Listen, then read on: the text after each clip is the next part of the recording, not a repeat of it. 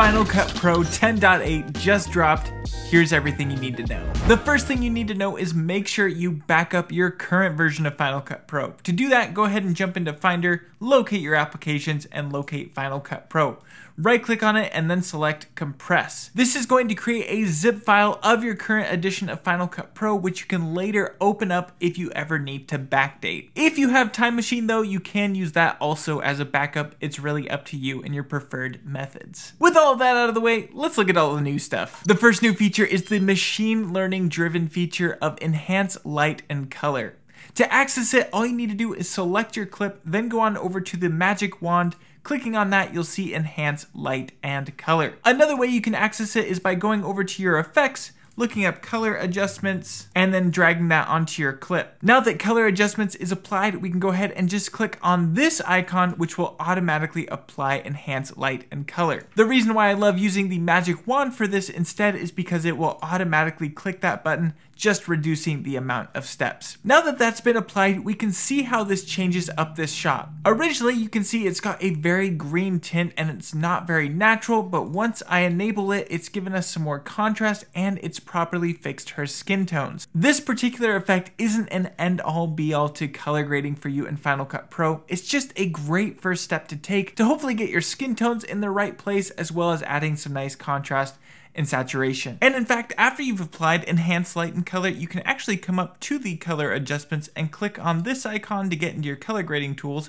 and you can see all of the adjustments that it's made. You can even disable just the light or just the color if you want to, and you can also change the color range at the top to HLG, PQ 1000 nits, 2000, 4000, and 10,000 nits. The next powerful tool coming to Final Cut Pro 10.8 is another machine learning slash AI driven effect, and that is better slow motion. I have this basic shot of me just kind of turning and looking. Selecting this shot, we can go on over to our retiming editor, and you'll see that we have two options here. We have slow, which gives us our typical slow-mo options, and then smooth slow-mo. Let's go ahead and just work with regular slow, and I'll slow that down to 25%. Now that I've done that, I can play back, and we'll see that we have a very choppy slow-mo. From there, I can go ahead and go back to the retiming editor, go down to video quality, and then change it over to better for optical flow. So this is the original way that Final Cut Pro would work with slow-mo shots to give us the smoothest slow-mo possible. I'll push play and we can see how the slow-mo is working there. But you'll see that there's just a lot of blur going on with this my eyes aren't quite tracking properly.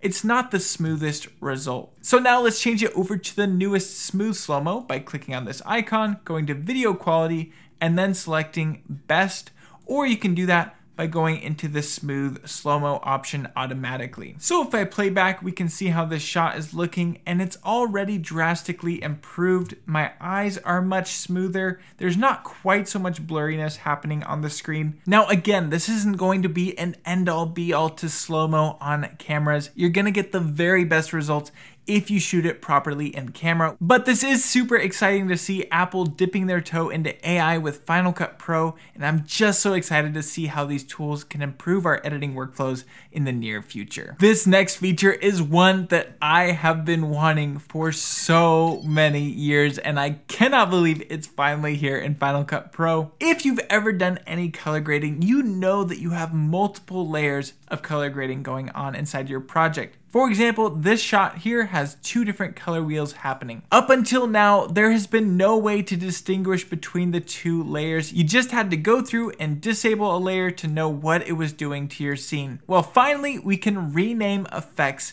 inside of the inspector. To do that, all you need to do is either right click and then select rename and we'll just call this one vignette or you can just simply double click on it and that will allow you to rename it as well so we can just call it base grade. It might seem like a very simple feature and I'm sure there's a whole bunch of people writing in the comments how DaVinci Resolve has had this for 25,000 years. That's great. I'm very excited for you, but I'm even more excited for myself that now this feature is in my favorite editing software. Now, in tandem with that, if you've ever wanted to get an effect that you've already put in all the work to get it looking just right and you want to apply that onto another clip, normally you would have to select a clip, push Command C, then select a secondary clip, and then push Command Shift V, which would bring up the paste attributes window, and then you would select which effects you would want, and then you'd paste those. But now we have an incredible new feature. We now have this Mad Max look happening on the screen, and I want to bring this grade onto this secondary clip rather than copying and pasting it. We could actually just simply click and drag this directly onto the video here on the screen, or we can just click and drag it down onto the clip on the timeline and it is going to apply just like so. And if you want to select multiple effects, you can go ahead and do that by pushing and holding command while you select the alternate effects that you want. And now we can click and drag both of those onto yet another shot. And speaking of quality of life, that is where the brand new index features come into play. It's now easier than ever to search through your timeline for specific clips. To do that, go ahead and open up your index here on the left side. One of the great new features added to the index is if we were to click on the magnifying glass here, we can now filter by duplicate ranges, by missing media, missing effects, video effects, audio effects, and retiming. So if there's a specific clip you're looking for in your timeline and you know that it's missing an effect, you can just click on that and now any media that's getting that weird red error on it would show up here in this window.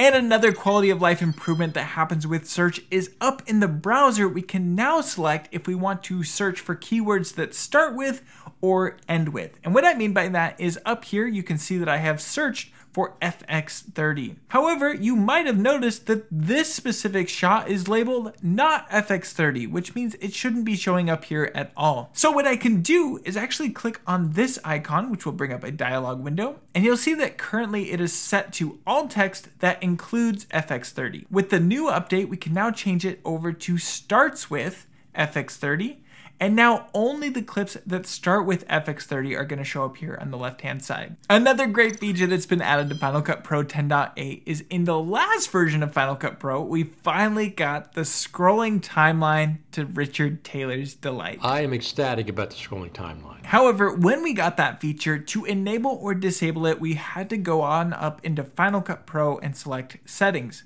But now in the latest version of Final Cut Pro, you can enable or disable it directly from the timeline. To do so, you'll just come on over here to the right side and you can see the scrolling timeline button. So I'll just click that and push play. And now the timeline will automatically scroll as it plays through, which is really incredible. We are in the future, the 21st century, 2024 is a year where DVDs seem to be completely killed off. Unfortunately, with this latest version of Final Cut Pro, the DVD feature has been removed. So previously you could come on up to your share menu and there was a DVD option, but that is no longer the case and you can't add it under destination. So it's just been completely stripped out. If you're like me and you still have DVD needs, you may want to do what I did and just buy a really old laptop that has DVD Studio Pro on it. And from there, all your DVD needs are going to be completely met. It's really the best DVD software out there. So just consider that. What are your thoughts? Let me know down in the comments. Personally, I'm actually very excited to see some of these new AI features coming to Final Cut Pro,